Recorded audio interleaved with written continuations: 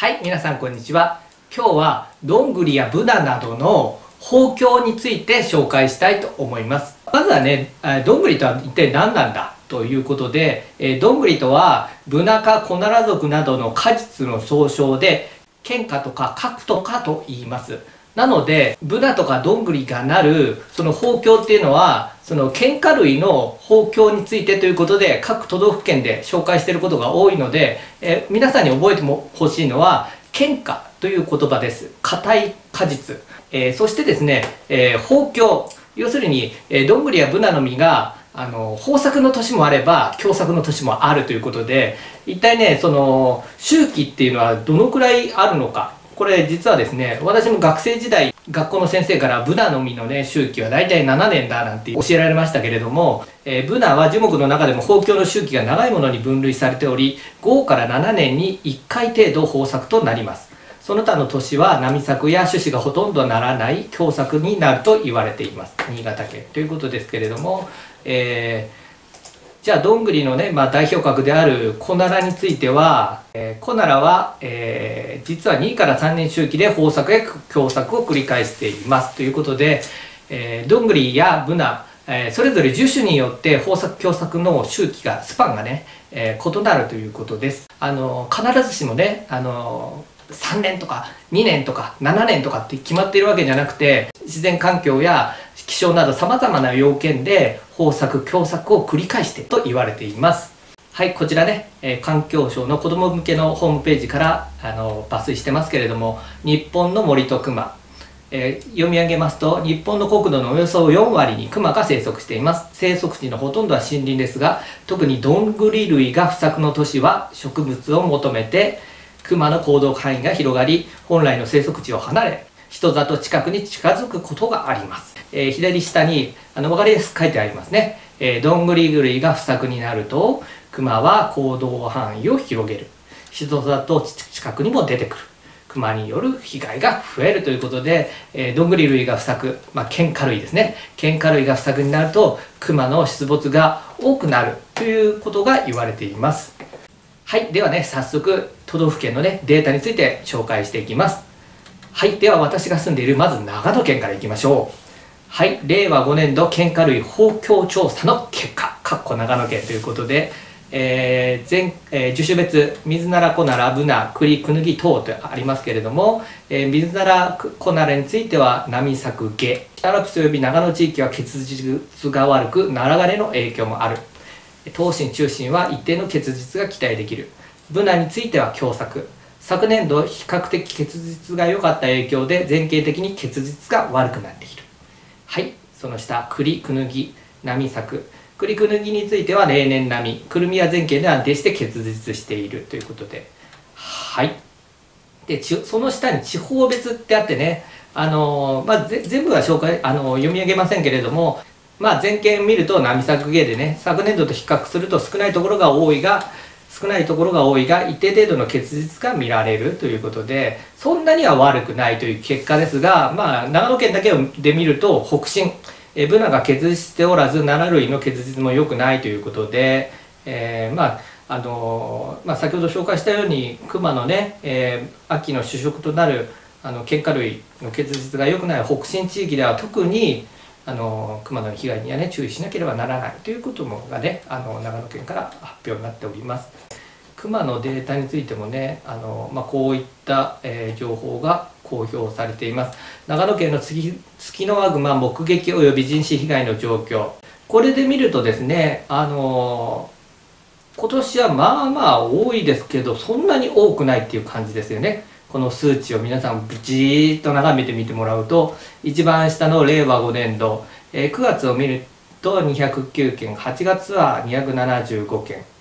えー200件台が続いてますけれども、えー一番多かったのがですねこの平成18年9月にはねなんと909件8月817件ということでね、え1年間トータルで3362件。ということで令和5年ここまで1100件なのでまああの例年より多いという感じですがあのすごく多いということではなさそうですね。まあちょちょっと多いって感じですね。まあ、そんな感じです。はい。ということであの先ほどのね添加類のあのデータを見ると、え特にね北進で注意が必要ということが言われています。では次にですねあのニュースとかでも話題になっている秋田県見てみましょう。秋田県ドン。はいこちらです。はいこちらね、えー、去年の11月に発表になった秋田県ブナ豊況予報ということで、えー、11月にねおそらく枝をね調査して、えー、翌年花がどのくらいつくかということを調べて、えー、予報にしたものだと思われます。はいこれによるとですね、えー、秋田県ブナ豊況予報ということで、えー、各地域5地域やってますけれども、はい、これ全部××××えー、×は何かというと,、えーと、凶作ですね。秋田県では、えー、ブナのね実がほとんどなってないという状況で、えー、熊の被害が多発している原因の一つになっているんじゃないかなと思われます。はい。ではですね秋田県の、えー、ブナの豊況についての都市別の、まあ、データですねはいこちらを見ると、去年豊作だったんですね2022年まあ、八森以外では丸々丸々で豊作200個以上。まあ、豊作っていうのはね、まあ、5年から7年に1回しかないって言われてますんで、まあ、あの今年は凶作になってるということですね。まあ、こうやって見ると、まあ、7年8年1234567 8年のあと、まあ、2年おきに来たりとかねさまざ、まやっぱりあの5から7年の枠には入らないような感じではありますけれども豊作以外の年はね凶作になるケースが多いようです。はい、次にこちら水ならですね。えー、ブナと違って水ならの場合はね豊作になるケースも多いですけれども、えー、ナラ枯れの影響もあるので今年はどうでしょうね。まあ2から3年の周期2から3年なのかな？水ならは2年ぐらいの周期なんでしょうかね。こうやって見るとね。丸の年も結構多いですよね。はい以上が秋田県です。ではですね次はそうですね私が前に住んでた栃木県を見てみましょうか。はい栃木県のあの発表になってる、えー、令和5年度県下類の豊況と熊の出没についてということで、え8月から9月に調査しましたということで。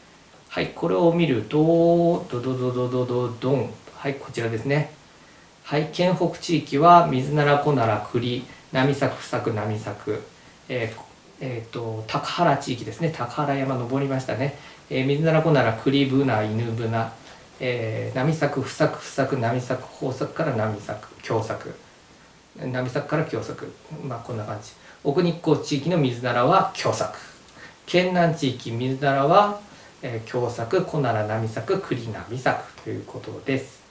はいということで、はいえー、熊の出没について県下類の豊況と熊の捕獲数の関係から見ると水なら及びコナラが凶作または不作の年は熊の捕獲が晩秋まで続く傾向があるということで、えー、令和3年度の捕獲数は大量捕獲年となった令和2年度と比較して大幅に減少した。これは県下類の結実が改善したことにより人里への出没が減少し有害捕獲数が減少したためと考えられるということで、えー、豊作になってた年はやっぱり熊のね、えー、捕獲数が減ったということが書いてありますね。はいということで令和5年については8月までの熊の出没数は令和4年の1.3倍程度熊の捕獲数は令和4年の0.9倍程度令和5年度の喧嘩類の結実はおおむね良好であったがうんたらかんたらって書いてありますね。はいということで、えー、栃木県では今年、まあ、そんなに悪くはないという感じですね、えー、ただし、えー、まあこうやって見ると、え、そうですね。まあ、特にね注意しなければならないのはこうやって見ると奥日光地域の水なが凶作ということなのでまあ熊については特に奥日光地域では注意が必要なのかななんて思います。はい。はい、ではですね、次に、えー、栃木県見ましたので、新潟県見てみましょうか。新潟県。令和5年度県下類豊況調査結果についてということで、今週のブナ、今秋のブナの実は凶作と予想されます。月のアグマが人里に出没する可能性が高いので注意を呼びかけますということで、はい、ここれですね。えー、法教調査結果速報、えー、ブナ全体としては共作はい不作共作共作共作ということで、えー、まあ共作は結実が認められないということでね。あの非常に、えー、新潟県では、えー、ブナの実がなってないという状況になってます。はい、えー、県全体における県下類の法教指数年変動ということで、えー、令和5年はもう共作ですということで。やっぱりねあの令和4年、えー、は、えー、波作から豊作、まあ、割と実ってましたよね。はいということで、まあ、その反動あの、まあ、その翌年ということで、まあ、月の馬の出没が多いっていうのは、まあ、そういった原因があるんではないかなと思われます。はい、えー、ではですね次は、えー、ちょっと飛んでみましょうか。はい滋賀県見てみましょう。はい。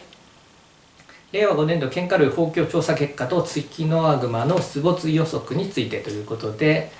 はい、えー、ブナミズナラコナ等の県下類はツツキノワグマの周期の重要な栄養源となるため奥山において県下類を含む果実が不足するとクマが人里まで餌を求めて出没することがありますはい、令和5年の結実状況。ブナは県全体で共作でした。はい。水ならは県全体で不作でした。コナラは県全体で不作でした。ということで、まあ、まあ、ちょこっとなってますよということですが、まあ、ブナ自体、ブナは共作だったということでね。はい。ただまあ、あの滋賀県そんなにブナのね森林面積秋田県ほどねもう白神山地に代表するようなあのブナ帯があるわけではないのでまあどうなんでしょうね、まあ、その辺りあの面積的な、ね、割合とか、まあ、もねあるので何、えー、とも言えませんがまあ、えー、不作共作ということで、まあ、熊とかにもね十分注意しなければならないのかなと思います。えー、最後になります、えー、最後に、えー、富山県ですね。富山県を見てみます。県下類の着火状況について秋の熊の主食と考えられるブナミズナラコナラの実の豊況調査の結果ブナの不作水なら不作子なら不作となりましたということで共作ではなくまあ不作不作不作でしたということでまあ不作はまあ、まあ、不作だからあんまり良くないんでしょうけれども、はい、2番月長川の出没の可能性について。今年と同じパターンの作柄があった年はブナと水ならの作柄が相対的に悪かった。県東部での出没が同化し、えー、人気震源は3件発生したということで、えー、本年の秋はブナが凶作である県東部を中心に低標高地域で活動するクマが増加すると予想されます。ということで十分注意警戒してくださいということではいこちら森林研究所の、えー、受賞別着火上昇調査の結果が出てますけれどもこれによるとね、えーと、とブナはということでここのバッテンを見ると県東部ですね先ほど言われてたように県東部、えー、立山とかねえー、境川県東部の方がねより警戒しなければならないというふうに言われています。はい以上です。ということでね県下類の豊胸と熊の出没についてもあるある一定程度のね相関関係があると思われますので皆さんもね注目していただけたらと思います。ではこの動画良かったと思ったら是非チャンネル登録と高評価ボタンお願いします。ご視聴ありがとうございました。さよなら。